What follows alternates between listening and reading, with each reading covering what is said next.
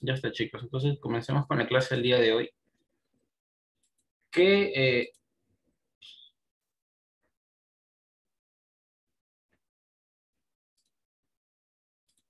es el poblamiento americano y comunidades primitivas. Este es el primer tema de historia universal, de historia universal que hablo de historia del Perú. Eh, para eso hay que entender algo, de que el origen de la vida, el origen de los primeros hombres, no, no aparecen, ¿no? En realidad en, en, América, ¿no? Hay teorías que, que plantean de que el hombre ha surgido también en América, pero mm, son de poco sustento científico. Es por eso que principalmente lo que se toma en cuenta son las eh, teorías inmigracionistas, ¿no? De que el hombre llegó a América, no es de que el hombre se, se desarrolló en América, ¿no? No es que hubo un Homo sapiens, un Homo erectus, no, no sino que eh, el, el, hombre va a llevar como el, Homo sapiens sapiens o hombre de Cromañón al continente americano. Y bueno, vamos a ver un poquito sobre la teoría del poblamiento americano, ¿no? Eh, me he centrado en las cuatro principales, entre ellas una teoría que sí es autoctonista. Eh, recordemos que hay estas dos tendencias, ¿no? Autóctonista, que viene de la, del término autóctono o propio. chicos, por favor, traten de llegar temprano porque esto de añadir cada cierto rato es como que incomoda la clase, ¿sí? Eh, en América, como les estaba comentando, va a haber dos tendencias, ¿no? Una tendencia inmigracionista y una autoctonista. Ya les dije que la autoctonista va a tener poco, poco fundamentación científica porque en realidad mm, no, es, no, es, no hay nada comprobable que nos diga de que en realidad eh, la vida surgió no en América. ¿no? Siempre se habla de que eh, surge, surge en África y de África, bueno, hay diferentes rutas para que pueda llegar a este continente. Bueno, primero hablemos de la primera, ¿no? La de Alex Herrica, con su teoría del único, eh, la teoría del único, único racial, ah, se me fue el nombre, teoría del único racial, o también conocida como teoría asiática, que postula las oleadas mongoloides, ¿no? Provenientes de la meseta siberiana de Mongolia, cruzaron el estrecho de Bering cuando este se congelaba por el invierno, y siguiendo animales de caza desde Alaska Canadá. Esto se evidencia en la aparición de la raza esquimal, Alaska en Canadá, a los mongoles siberianos. ¿no? La, la, teoría de las se centra principalmente de que el hombre va a llegar a América eh, a través de, eh, de, eh, de, Alaska ¿no? y cercanos a Canadá. ¿Por qué? Uno de los principales fundamentos que va a tener ejética son los rasgos faciales. ¿no? no sé si ustedes han observado en la, selva del, país. Mm, gran parte de los pobladores tienen los ojos rasgados, eh, los pómulos eh, sobresalidos, sobresalientes, eh, algo muy parecido a, los esquimales, y los esquimales también son los asiáticos, ¿no? Entonces, hay algunas características físicas en las cuales sustentan la teoría de la esgérrica. Después viene la teoría de Paul Rivet, la teoría de Polinesia o teoría de origen múltiple, teoría oceánica. Eh, esas teorías es fundamenta, eh, se fundamenta en la obra de los orígenes del hombre americano, postula que el Bering fue la vía principal, pero no la única. Propone que las oleadas eh, de Malaya de las polinésicas desde el centro del sur asiático, mientras cruzaban el Pacífico de la isla, en la isla eh, llegaban a América del Sur, probablemente evidenciable en las semejanzas de los aborígenes ecuatorianos peruanos con los malayos polinesios. Mm, ya, para que puedan entender un poquito mejor abajo, bueno, en su ficha y en la pantalla hay un pequeño gráfico eh, para que puedan ver de la, primero la asiática, segundo la, la, la oceánica es, esta de acá. Y bueno, la, australiana que la vamos a ver en un ratito. Y bueno, Paul Rivet va, va, a sustentar ello, ¿no? De que no, en realidad no existe un único origen, ¿no? Hay más de uno. Eh, después va a venir Florentina Mellino, quien va a tener una teoría que hasta este punto, a este punto de la historia ya no es aceptable, ¿no? La teoría del origen autóctono de la teoría autoctonista, ¿no? Es, es, la teoría autoctonista con más fuerza y ya fue refutada, ¿no? Eh, su creador pues, sostuvo que el origen del hombre estaba en América del Sur, específicamente en las pampas argentinas. Luego esto se extiende por el mundo desde la época terciaria. Entonces, el señor, este señor eh, llamado Florentino Mellino va a plantear de que en realidad el origen de la vida, todos los restos que se encontraron en el Valle del Rift y todo eso, no pasa a un segundo plano, ¿no? Que en realidad el origen de la vida es en América y de América se expandió por el mundo, ¿no? Eh, ¿y, en qué se va a fundamentar? Bueno, en que él va a encontrar un hueso óseo, ¿no? Hueso óseo, ¿no? Bueno, un, hueso como tal, eh, sustentando de que por la misma antigüedad de, este hueso, bueno, entonces acá existió el hombre, ¿no? Pero para Roche de él, eh, al momento de hacer investigaciones más exhaustivas, se va a descubrir de que ese hueso en realidad no es de un hombre, no es de un homínido, es de un caballo. Bueno, un caballo antiguo, no me acuerdo ahorita el nombre del espécimen, eh, pero es un, un caballo, y ya pues va, va, a ser refutada por completo la teoría de Florentina Mellín. Es por eso que les digo que las teorías ocultistas no tienen fuerza. Profesor, era de un tigre sable. ¿Un tigre sable? Mm, no. Un tigre sable. ¿De dónde sacó esa información? ¿Del libro de historia? Sí. Ah, no, se tengo que... Era un tigre de sable. Hasta donde sé es un caballo. Bueno, no un caballo como tal, pero es de un, de un descendiente del caballo. Ya, voy a chequear esa información después ya. Ya, la cosa es que la teoría de Florentino Mellín va a ser rechazada este punto. Después tenemos la teoría de Méndez Correa. Eh, su teoría es la teoría australiana. Bueno, la teoría australiana, bueno, te voy a decir que es eh, una inmigración australiana a través de las Antártidas, según el antropólogo el lusitano, los australianos utilizaron sencillas balsas para llegar a Tasmania y las islas de Auckland. Eh, bueno, básicamente uno de los sustentos que, se va a tener es el uso de algunas cosas que, se observan en los antiguos pobladores australianos, que las que se observan acá, ¿no? Eh, estas eh, viviendas elevadas es algo común también el, uso allá en, en, Australia, en los primeros pobladores australianos, el uso de las hamacas incluso también es, algo propio de Australia, que también se van a encontrar ciertas semejanzas. Eh, incluso instrumentos, algo muy parecido a lo que es el, el boomerang australiano, también se va a encontrar en, América. bueno, estas son las cuatro teorías con mayor fuerza. Eh, la oceática, la, la, polirracial y la australiana.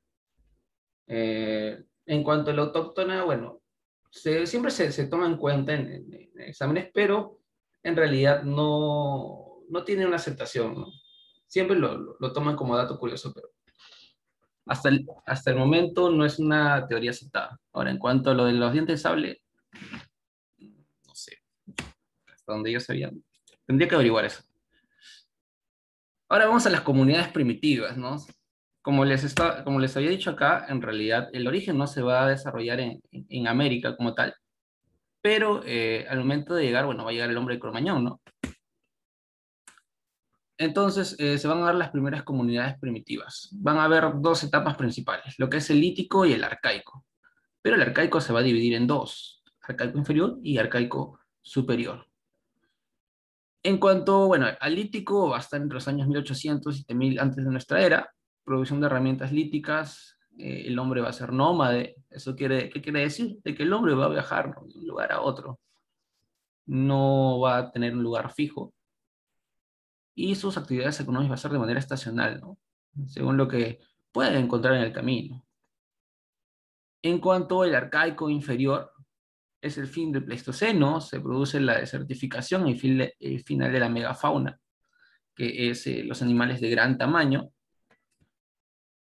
se va a dar lo que es la aparición de la horticultura y pastoreo.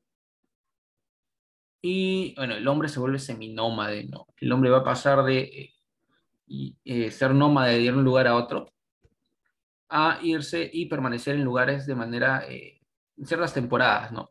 No se va a quedar ahí en un lugar fijo para vivir, pero en ciertas temporadas se va a quedar a habitar en ese lugar.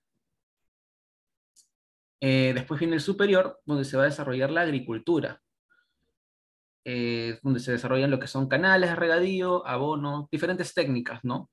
Ah, antes de eso, en el arcaico inferior se va a desarrollar lo que es la horticultura, que es una agricultura incipiente, ¿no? Es, eh, no es la domesticación de las plantas como tal, pero eh, es eh, la producción de estas mismas sin ninguna clase de técnica, ¿no? En el caso de la agricultura, eh, ya es, son con técnicas, son con canales de regadío, son con abono, es tomando en cuenta los factores climatológicos, en fin. Y aquí ya se va a producir lo que es el sedentarismo, ya se van a establecer en un lugar, ¿no? Y de paso también se van a crear diferentes características socialmente hablando, como las diferencias sociales, ¿no? Rangos, jerarquías, ya se van a dar a partir del arcaico superior. Ahora, sobre los primeros pobladores. Eh, bueno, aquí está de manera resumida, ya lo vamos a ver más adelante. Chicos, hasta aquí. ¿Alguna pregunta, alguna duda, alguna consulta? Estoy grabando, dime que si estoy grabando, sí estoy grabando. Ya. ¿Alguna pregunta, alguna duda, alguna consulta que tenga?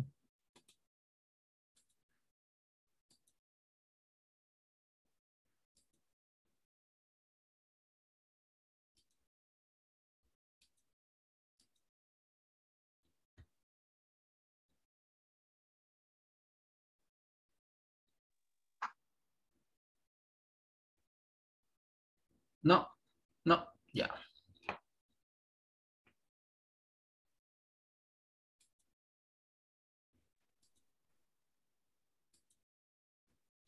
Ya, entonces vamos directamente al periodo lítico, ¿no?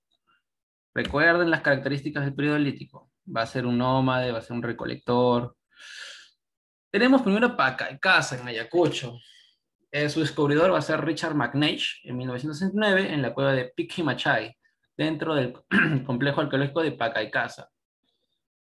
Importancia. Posiblemente contenga los instrumentos líticos más antiguos del Perú, lo mismo que fueron logrados mediante las técnicas de, perdón, la percusión. Algunos autores lo califican como un cazador indiferenciado, pues encontraron los restos de un megaterio, animal pleistocénico. Ahora, ¿por qué eh, se dice que los, eh, los instrumentos líticos más antiguos del Perú? Posiblemente. ¿Por qué? Porque sobre Pacaycasa, eh, hasta el momento, hasta el día de hoy, siempre entra en una controversia. ¿Cuál es la controversia? De que si en realidad existieron o no existieron. ¿Por qué? Porque eh, si bien los restos que encuentran y afirman la existencia de, hombres en Pacaycasa es los restos líticos, eh, también hay teoría, bueno, hay una explicación de que estos restos líticos en realidad no fueron creados por los hombres, ¿no? sino que fueron desprendimientos de las partes superiores de las cuevas, ¿no? Que al momento de caer, bueno, daban la apariencia de que fueron pulidas por manos, humanas, por manos humanas, pero que en realidad es propio de la erosión geográfica de la zona, ¿no? Que cayó y, bueno, parece que lo ha hecho alguien, pero no es, es de manera natural. Es por eso que siempre entra en duda la cuestión de Pacaycasa. Hasta el día de hoy no se, no se sabe a ciencia cierta. Eh, incluso en los exámenes de admisión hay bueno, en San Marcos sí lo toman en cuenta, eh, pero en algunos casos no, en, algunos, en otras instancias no. no prefieren no hablar de Pacaycasa para no entrar en la polémica, ¿no?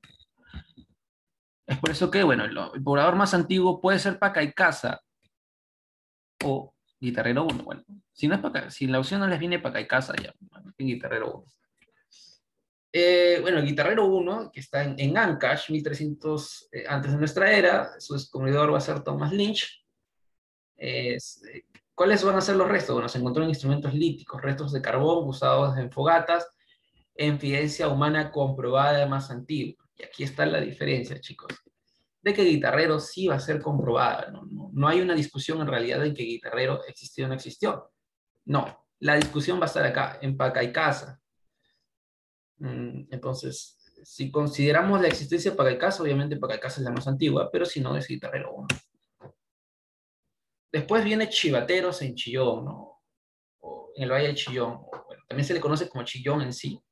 Está en Lima, es a 10.500 eh, aproximadamente de antigüedad. Eh, bueno, en el Valle del Río Chillón, está en el Lima Norte. Su descubridor va a ser Edward Lenin en 1965 en cuanto a su importancia, se encuentra el taller lítico más grande de la costa.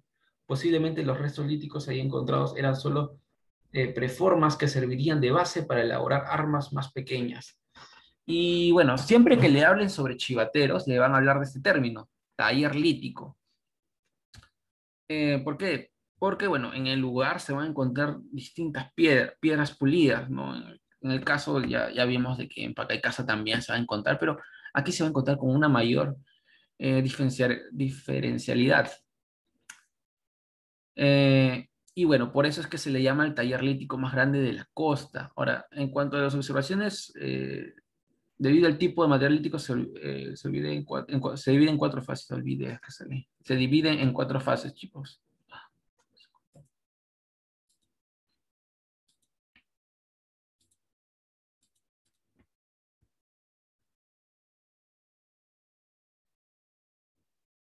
Ah, ya, acá está.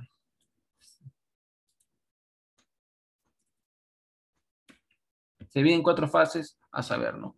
La zona roja, que es la piedra lenticulares, la oquendo, que es posible trabajar en, cincel, la chivateros 1, que es instrumentos bifaciales. ¿Qué quiere decir bifaciales? Que tienen doble pulido por los dos lados, ¿no? Chivateros 2, eh, que es un instrumento en punta de proyectil. Y bueno, que hay algunos restos de, lo que lo encontrado en Chivateros para darnos una idea de, de, de, lo que se encontró en la zona.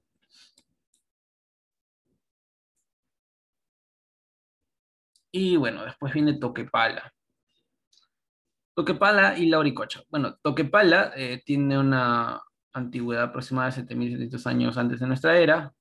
Se va a ubicar en Tacna, su, descubridor va a ser eh, Miomir y Emilio González en 1960. Los más notables yacimientos son las pinturas rupestres que representan escenas de caza probablemente, con sentido mágico religioso, y los animales pintados son en su mayoría guanacos, ¿no?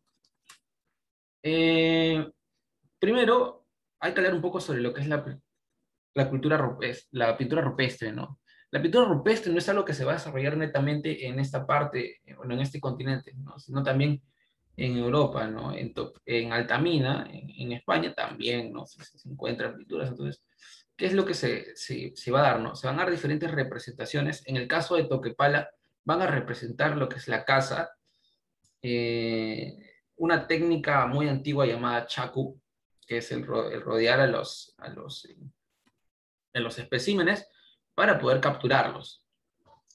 Entonces, es lo que principalmente se va a, graficar. Lo que Pala es justamente conocido por, las pinturas rupestres que posee, pero no es la única. En la Oricocha también se van a encontrar pinturas rupestres. Eh, bueno, la Oricocha se va a encontrar en Huánuco, va a tener 7500 eh, años antes de nuestra, se va a encontrar, bueno, una, una antigüedad aproximada de 7500 años antes de nuestra era, va a ser ubicada en 2 de mayo en Huánuco. Su descubridor, bueno, va a ser Augusto Kadish en 1958. Eh, en cuanto a su importancia, es el hallazgo de 11 esqueletos humanos juntos con huesos de camélidos y cérvidos, que son las tarucas, evidencia una de las prácticas funerarias más antiguas hasta hoy conocidas en América. Eh, bueno, hasta acá que hemos visto que se han encontrado, chicos. Se han eh, encontrado instrumentos líticos, se han encontrado fogatas, Acá otra vez, otra vez instrumentos líticos, pinturas rupestres, pero en la Auricocha ya se van a encontrar restos humanos. Entonces podemos eh, hablar ya de que en la Auricocha son, se encuentran los restos más antiguos. Y por último, para hablar, terminando con la parte del, del, lítico, de la etapa encontramos a Paeján en la Libertad.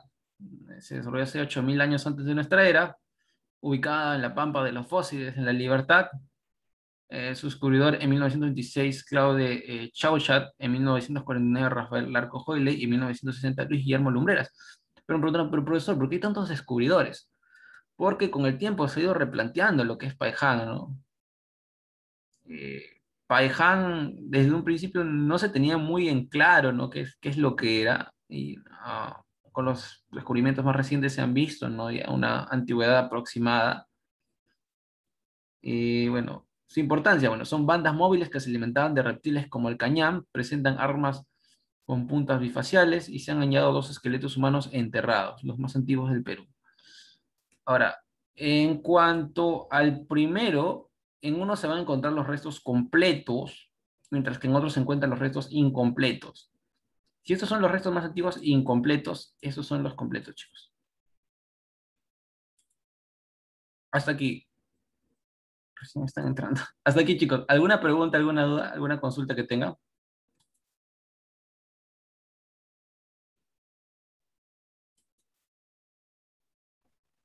¿Podría explicar de nuevo el de Paija, profesor? No lo entendí muy bien. Ya, está bien, vale, vale.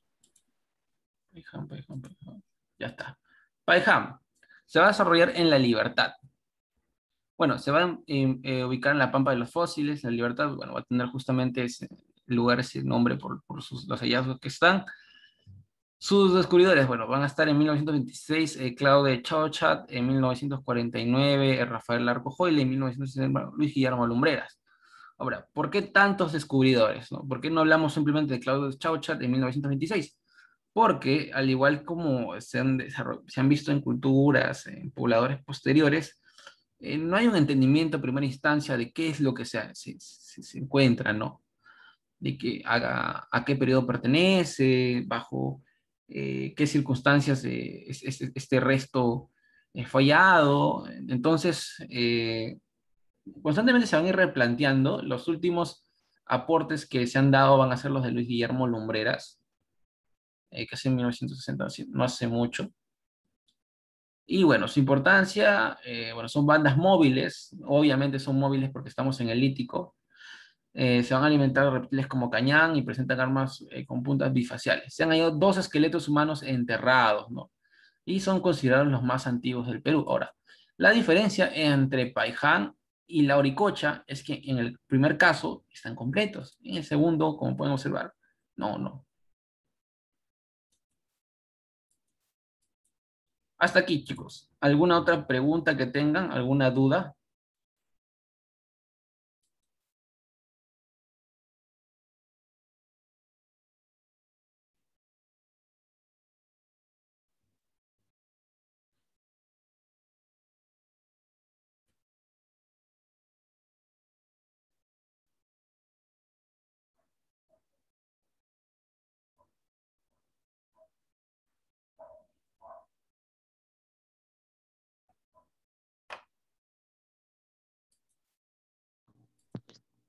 Ya está.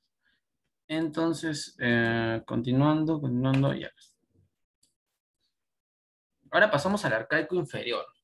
Recordemos algunas de las características. A ver, aquí todos los, pobladores que hemos visto van a tener la característica de ser nómades, de ir de un lugar a otro, de por ahí recolectar alguno que otro eh, fruto que se encuentre en la zona. Obviamente van a cazar, pero en el arcaico inferior esas características van a cambiar. ¿Y qué es lo que se va a desarrollar? Bueno, se va a hacer lo que es el semi-nomadismo.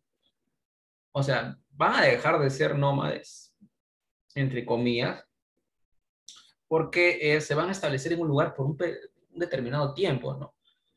Eh, van a ver que las eh, características del lugar van a ser propicias en un determinado periodo. Por ejemplo, no sé, ven que el tiempo de cosecha, bueno, cada cierto tiempo ahí se va a dar, ¿no? O no sé, que por ejemplo cada cierto tiempo, en una determinada fecha, eh, nacen ¿no? los, los eh, las crías ¿no? de, de, cierto, de llamas, por ejemplo, de llamas. ¿ya? Entonces ven que hay una mayor población de nidos que puedan cazar y bueno, entonces pueden emplearnos. Eh, y básicamente es eso. Es una, una migración que va a ser estacionaria, ¿no? No es tampoco que van a estar viajando todo el tiempo, como se van a dar en, el nómade, pero eh, su estadía también va a ser por temporadas.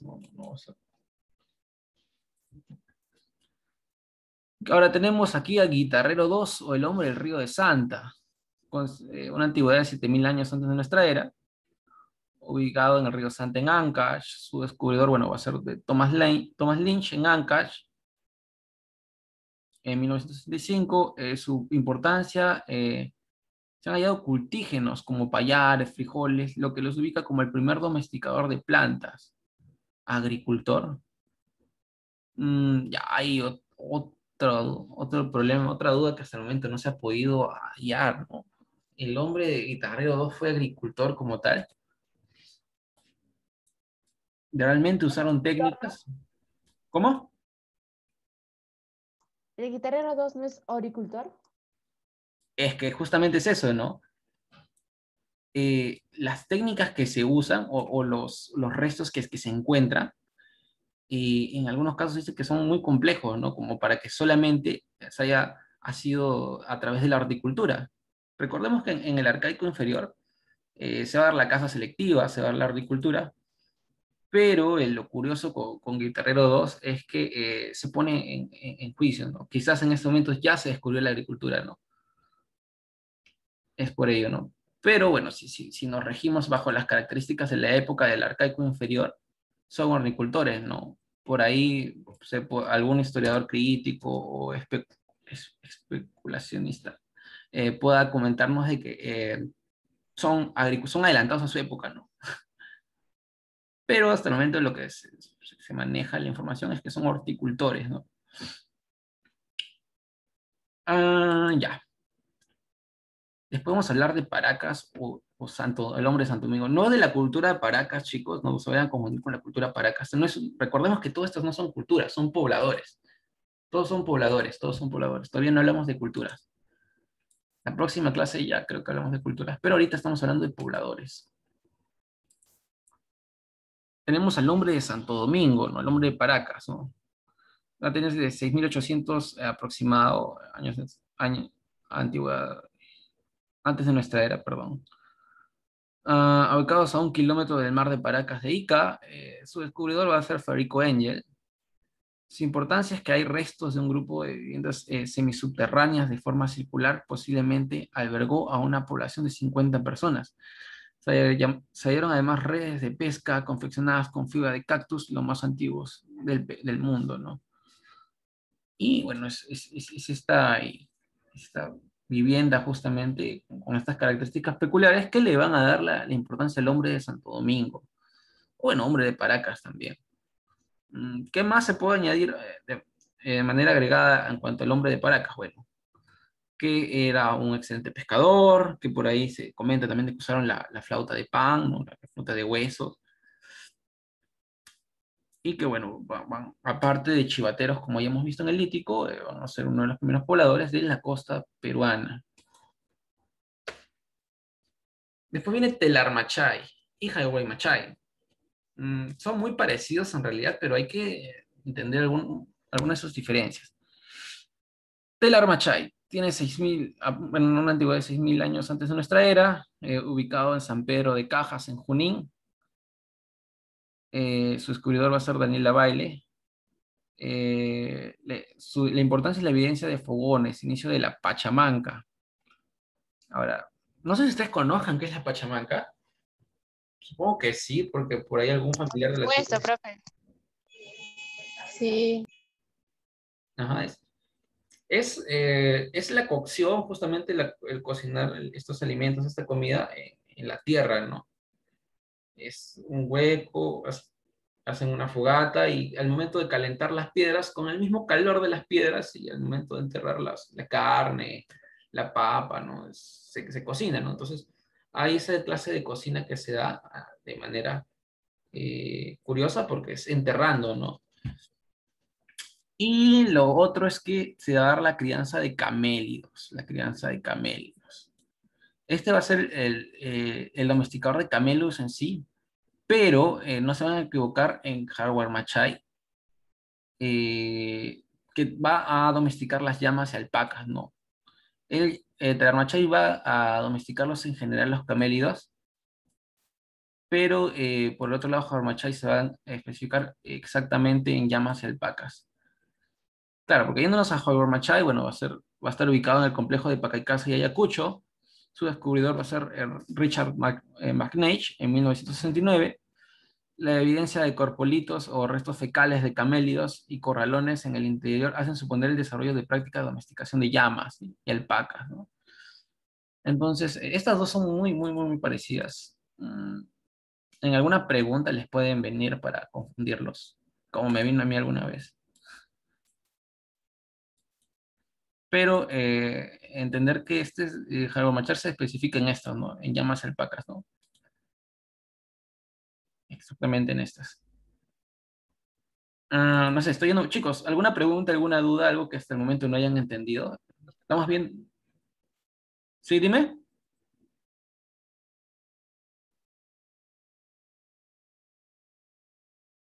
Chicos, ¿alguna duda, alguna pregunta que tengan? Profesor, ¿puede explicar de nuevo? No lo he escuchado muy bien porque acá están haciendo bulla acá abajo, en mi edificio acá abajo están haciendo. ¿Me puede, explicar de nuevo, por favor?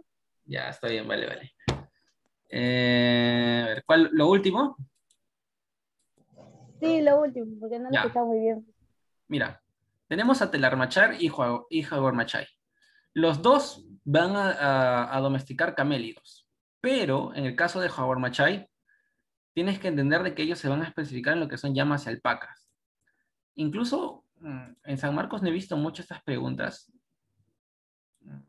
En, en curso así como una pregunta así en un examen de vida real. Eh, pero no está de más avisarle. Hayward Machay se va a especificar en llamas y alpacas, chicos. Llamas y alpacas. Mientras que Telar Machay eh, va a ser un domesticador en general, ¿no? Él va a ser el primer domesticador de llamas. Él va a ser el más antiguo. Eh, bueno, sobre su ubicación, bueno, Telarmachay se va a ubicar en San Pedro de Cajas, en Junín. Eh, en cuanto a Jaguar Machay, bueno, en complejo, el complejo de Pacaicasa, en Ayacucho, como ya se han dado cuenta, en, allí se, eh, van a desarrollar o, van a cohabitar muchos hombres, ¿no? En el caso de Jaguar Machay, también hablamos de, de Pacaicasa por allí. Mm, ya. Y bueno, el descubridor de Telarmachay va a ser Daniel Lavalle, Mientras que en Jaguar Machay eh, va a ser Richard McNeish. McNeish. Profesor, una, pregunta. Profesor, una pregunta. Profesor, ¿qué pueblo es el que se va a destacar? ¿O quiénes son los primeros en realizar la horticultura? La horticultura, bueno, el más antiguo es Guitarrero 2, aunque por ahí hablan un poco de Nanchoc ya. Eh, es otra de las cuestiones que también. Pero Nanchoc eh, bueno, es, que es, bastante complejo hablar de cuál es primero. No hay, no hay, no hay un consenso. En, algunas cuestiones así de la historia vamos a encontrar de que va a depender bastante de los historiadores. Puedes encontrarte con Guitarrero 2 o con Nanchok. Cualquiera de las dos puedes marcarla. Pero no te, van a, no te van a venir las dos juntas.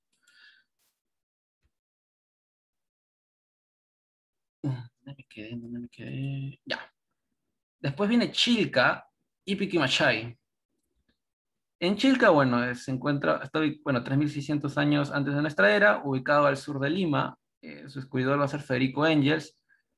Mm, su importancia, bueno, es un complejo confuso, en, enterramiento en el que se hallan eh, cuerdas de cactus, de tres estacas, piedras de batán, un perro, cenizas y posiblemente horticultura. ¿no? Chozas de caña y paja en forma de cónica y colmena. Lo que caracteriza es su, sus viviendas en forma de colmena. Vamos a ver si puedo agrandarlo. Ya. Miren, estas, estas viviendas en forma de colmena eran las lo que se encontró, ¿no? Profesor, ¿no está compartiendo pantalla? Ah, chale, chale. Gracias, gracias por avisarme. Ya, a ver. Eh, como le decía, el nombre de Chilca va a destacar por su vivienda en forma de colmenas. Ahí está. Como pueden observar, así son, parecen una columna de, abejas, así, con orificios en... Y bueno, es principalmente por ello que van a destacar los, los chilca. Mientras que por otro lado, los piquimachay, eh, primero tienen una antigüedad de 3.300 años aproximados, en el complejo de Pacaicasa también en Ayacucho, descubridor eh, Richard McNeish. Eh, al igual que Howard Machay, se han ubicado evidencias de coprolitos y pequeños corralillos lo que indica el afán por la domesticación de cuyes. Si bien aquí hablamos de los, de, los domesticadores de, camélidos, en Piki Machay se van, a, se van a domesticar lo que son los cuyes, chicos. Los primeros domesticadores de cuyes son los Piki Machay. Entonces su nombre Piki viene de pequeño, ¿no? Entonces van a investigar. Esta característica justamente de, de los cuyes, ¿no? Por eso su nombre, Piki Machay. Y entramos al arcaico superior. Chicos, hasta aquí, ¿alguna pregunta, alguna duda, alguna consulta?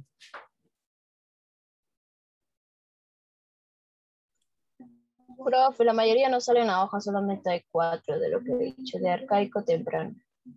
¿Y se me olvidó? Ah, no, a ver chicos. aquí en las dos hojas les he puesto los más importantes.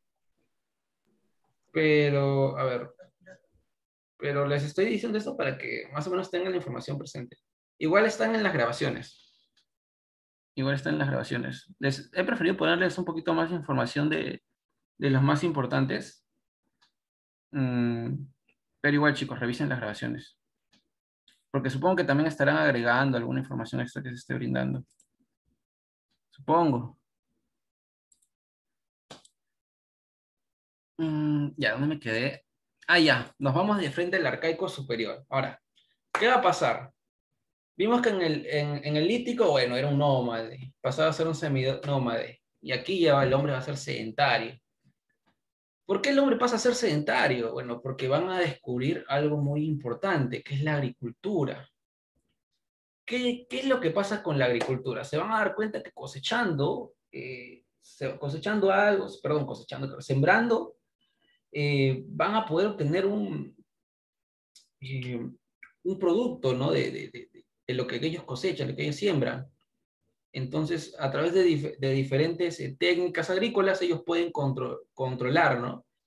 O pueden deducir cada cuánto, cierto, cada cuánto tiempo puede salir un determinado producto, no sé, maíz, eh, papas, ¿no? Y, igual va a, va a, aparecer con lo, con lo que es eh, la ganadería, ¿no? Se van a dar cuenta que en vez de hacer una caza selectiva, en vez de cazar a los, a los por ejemplo, no, mejor eh, podemos eh, tenerlos, ¿no? Acá, ¿no? Ponemos un corral y los podemos criar. Entonces, ya se va a hacer en el arcaico superior eh, parte, ¿no? Parte de, parte de esto y entonces a través de estos nuevos descubrimientos técnicas ya se va a desarrollar lo que es la ganadería y la agricultura. Y eso que va a permitir de que se establezcan en un lugar, ¿no? No vas a andar por todos lados con tus auquénidos, ¿no? Entonces, va, va, va a hacer que se, eh, se, se, establezcan en lugares y se van a crear, eh, pequeños poblados, ¿no? Que posteriormente se van a convertir en ciudades. Y bueno, entre ellas tenemos a la tablada de Lurín, ubicadas al sur de Lima, descubridores Josefina Ramos de Cox, el hallazgo de viviendas eh, semisubterráneas circulares con esqueletos humanos y abundante material orgánico presupone la aparición de los primeros pobladores estables o sedentarios. Eh, Cerro Paloma está al sur de Lima, Federico, bueno, se ocurrió Federico Engels y es considerado el primer monumento arquitectónico de América. Chicos, recuerden, este es el primer eh, monumento arquitectónico, pero no se va a comparar a Caral. Miren la complejidad de esto con la ciudadela de Caral. No sé si logra observar bien. Esta ya es toda una ciudad construida eh, arquitectónicamente. Esta puede ser la más antigua, pero Caral es la más compleja. Y justamente vamos a hablar de Caral porque es sumamente importante Caral. Primero, su ubicación está entre Supe y eh, Lima Norte, ¿no? Sus estudios, bueno, va a ser por la arqueóloga, la arqueóloga Ruth Chadi Solís, profesora de la Universidad Nacional Mayor de San Marcos. Hasta el día de hoy está enseñando. Eh, aún tiene algunos cargos en sociales. Una que otra vez eh, está dispuesta a ofrecer alguna entrevista. Eh, y bueno, su esplendor va a durar 800 años. El área que va a ocupar van a ser 65 hectáreas. Las zonas arqueológicas, bueno, van a, ser, van a estar conformadas por 8 pirámides, 32 flautas transversas, 8 trompetas de caracol, esculturas en barro, tejidos con algodón, sacrificios humanos, entre otros. Esas van a ser las características que se han podido descubrir en eh, Caral. Su importancia, bueno, fue un área de influencia cultural, presenta claras evidencias de jerarquización social y de control estatal. Ruth la considera como la ciudad sagrada más antigua de América y como el origen de la civilización andina. Y sí, es, lo curioso de Caral es que nadie se esperaba encontrarse con... Uy, nos quedan 10 minutos. voy, a, voy a hacer rápido. Nadie se esperaba encontrarse con Caral hasta hace algunos años. La profesora, por ejemplo, cuando contaba la, las experiencias de cómo se encontró con Caral, era simplemente un complejo arquitectónico, ¿no? Era un parte, ¿no? De, este grupo de, eh, de, primeros pobladores de la zona, pero encontrarse con una ciudadela cambió todo el carácter de Caral, ¿no? Como la ciudad más antigua. Eh, bueno, sobre Ruchade, bueno, la, la, ciudad sagrada de Caral fue edificada por el primer estado que se formó en el Perú, hace 3.000 años antes de, que gobernaran los incas y que sentó las bases de la estructura organizativa sociopolíticas de todas las sociedades andinas prehispánicas, que representa la civilización más antigua de América, desarrollado casi simultáneamente con las de Mesopotamia, Egipto, India China, ¿no? Están a la par. Ah, ya, Huaca Prieta. Sobre Huaca, Prieta, sobre bueno, ubicación está en Chicama, La Libertad, eh, su descubridor va a ser Junius Beer, se halló un mate de calabaza con diseños iconográficos y variados en la, en la superficie. Eh, de igual forma, hay restos de textiles de algodón y es por lo que van a destacar, ¿no? Los, de los textiles más antiguos. Aún no, aún no se consideran telares en este lugar.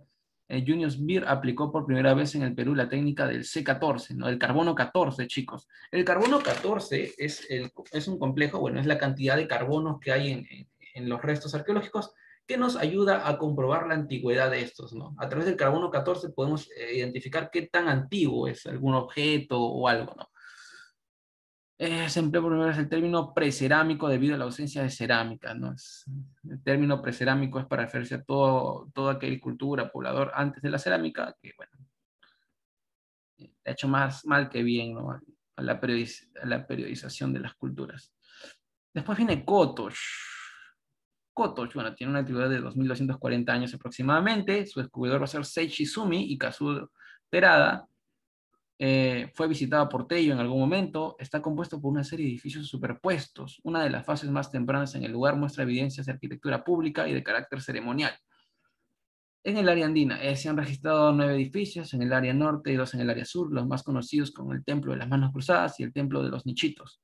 En aquellos se han encontrado restos quemados de camélidos, cuy además hallaron sus culturas en barros bautizadas como las manos cruzadas. Bueno, de esto les puedo narrar porque yo he tenido la oportunidad de ir a Kotosh. Kotosh es un complejo arquitectónico muy grande, muy, muy, grande, ¿no? Incluso la caminata desde, desde la entrada hasta ahí es, cuando 10, 10, 15 minutos. Entonces, eh, y el templo en realidad, mm, quizás el momento en el cual se les venga a la mente la idea de un templo es algo majestuoso, ¿no? Pero no, en realidad es esta, esta pequeña chocita acá. Ese es el templo. Eh, y allí se van a topar con dos esculturas, ¿no? Son dos tamaños de una pantalla de una laptop, más o menos, un poquito más grande quizás, donde hay dos manos cruzadas, ¿no? Una que está la mano derecha sobre la mano izquierda y la otra la mano izquierda sobre la mano derecha. Son dos, ¿no? Eh, por ahí, en, medio, en todo el camino, bueno, también te encuentras con los nichitos, que, es, bueno, el, guía comenta, ¿no? De que son eh, lugares donde se criaban, ¿no? Distintos animales. Pero bueno, la gente normalmente va por las manos cruzadas, ¿no? Y bueno, estas manos cruzadas representan, ¿no? Un ritual de unión, ¿no? Un ritual de unión, lo que quizás bajo es nuestro contexto sea lo que es una boda, un casamiento, bueno, es una unión para ellos en ese momento, porque una representa la derecha sobre la izquierda al hombre y la de la izquierda sobre la derecha a la mujer, ¿no? Entonces es un lugar ceremonial donde se, se desarrollan ciertos rituales, ¿no? Y bueno, aquella es la cultura. La cultura no lo vamos a ver el día de hoy, es para la próxima clase. Y ya chicos, hasta aquí. ¿Alguna pregunta, alguna duda, alguna consulta?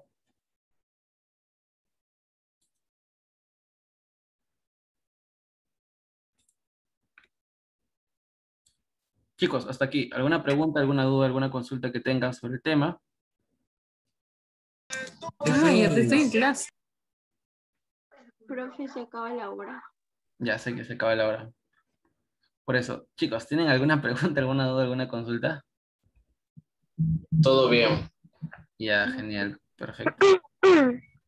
Entonces, vamos a las preguntas. Chicos, todos con la cámara encendida.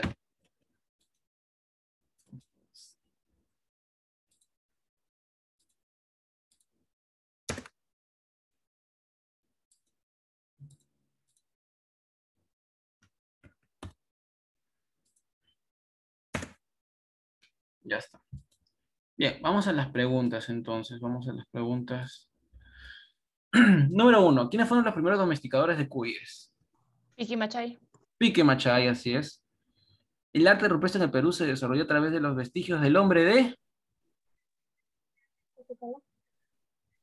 Toquepala, bueno, también la Oricocha, pero Toquepala es más conocido por, por su arte rupestre. Teoría que sustentó la existencia del Homo pampeanus.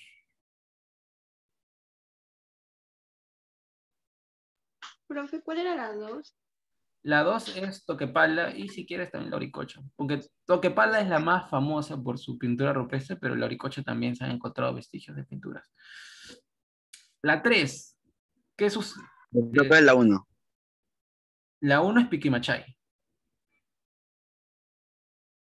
La 3, teoría que sustenta la existencia del Homo pampeanos. A ver, el- cuando les hablo acá sobre que el hombre viene de las pampas argentinas, eh, a Florentino Mellino va a usar este, este término, ¿no? El hombre originario, el hombre de allí, es el Homo pampeano, ¿no? Creo que no, creo que sí lo dije. ya. El Homo pampeano, chicos, acuérdense. Cuando habla del Homo pampeanos es un planteamiento que va a lanzar a, a. ¿La teoría autogonista?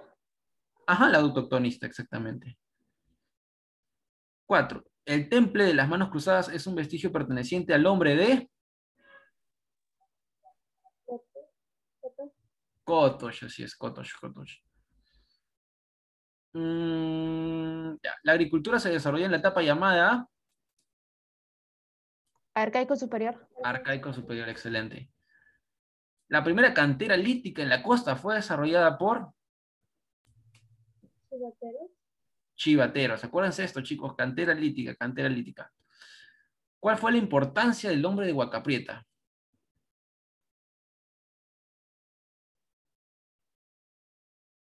En que representan los tejidos más antiguos.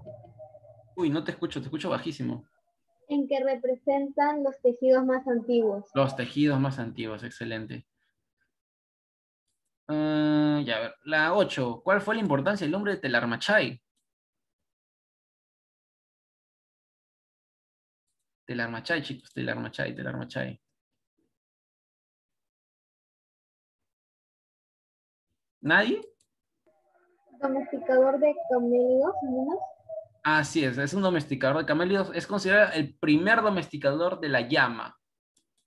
El primer domesticador de la llama. ¿En qué etapa de las comunidades primitivas el hombre era nómade? Periodo lítico. En el periodo lítico, excelente. Recuerden, lítico nómade. Después, en el arcaico inferior, seminómade. En el arcaico superior, ya es sedentario, ya se va a establecer en un lugar. Eh, uy, estamos con... Sí, alcanzamos el tiempo. Ya. Actividad de extensión. Haga un mapa conceptual de las comunidades primitivas. ¿no? Bueno, ya les, ya les he hablado sobre las comunidades primitivas. E incluso hay más, como ya se dieron cuenta en el PPT. Eh, ya, igual les voy a compartir el PPT ya. Les comparto el PPT si por si acaso quieren más información. Eh, tienen que hacer un mapa conceptual eh, sobre estas culturas. Y quiero que lo hagan, chicos. No quiero que busquen un mapa, un mapa conceptual de internet, lo copien y lo peguen, porque esta vez les he puesto 11, pero bueno, ya les estoy avisando. Profesor, Dime, dime, dime. Y si la estudiante lo que hace es encontrar la información en el mapa, pero no hace el mapa copiado, sino hace otro tipo de mapa y le aumenta más información. Ah, está bien, perfecto, sí, no hay problema. Profesor, ¿cuál era la 10?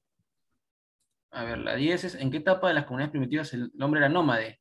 En el lítico, en el lítico, recuerden, en el lítico en un principio el hombre va a ir de un lugar a otro.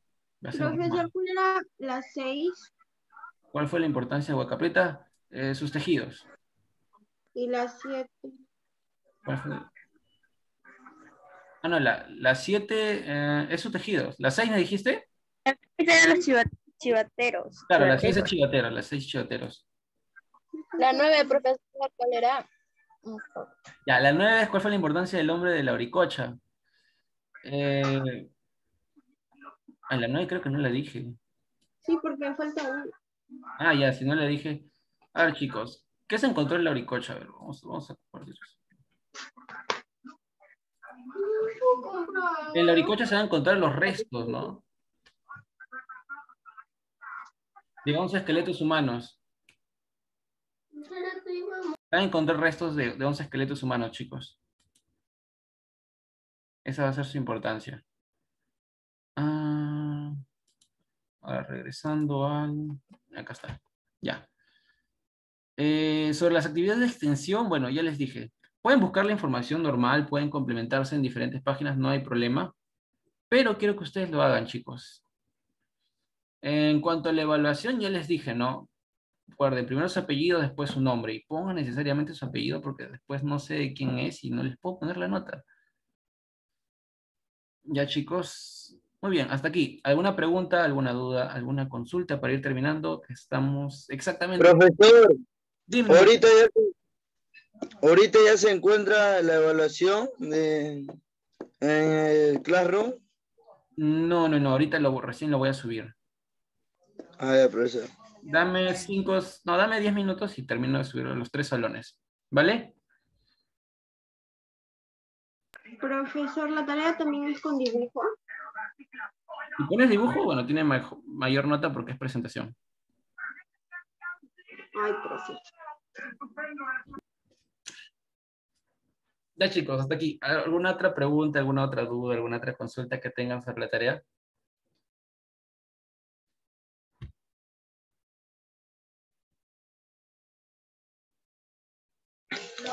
Profesor, la tarea se entrega hoy mismo. Sí. Mm, tienen hasta las 12 para entregarlo. Ya, profesor. Ya, bien, perfecto, chicos. ¿Alguna otra pregunta, alguna otra duda, alguna otra consulta que tengan?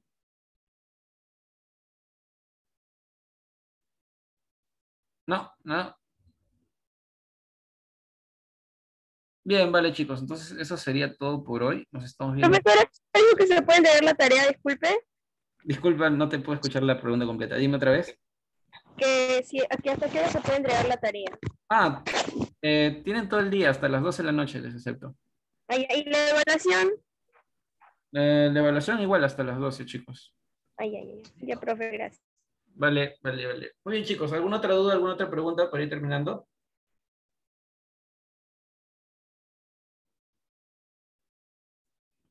Bien, chicos. Entonces, eso sería todo por el día de hoy. Eh, Nos estamos viendo el día de mañana. Cuídense y llegamos a sus tareas, chicos. Chao, profesor. Profesor, Di- Dime, Manuel, dime. ¿Es necesario to- copiar toda la, toda la hoja o lo podemos pegar? No, la hoja la puedes pegar. Lo que yo me refiero a que ustedes tienen que hacer es la actividad. Ah, ok. Estoy copiando desde hace rato. No se preocupen, chicos. Ya está. ¿Alguna otra duda, alguna otra pregunta, chicos? ¿No? No, no, no. Ya, perfecto. Perfecto, ya. Entonces nos estamos viendo en la próxima clase, chicos, que es el día de mañana. Así que cuídense hasta mañana. Bye, bye. Chao, profesor. Chao.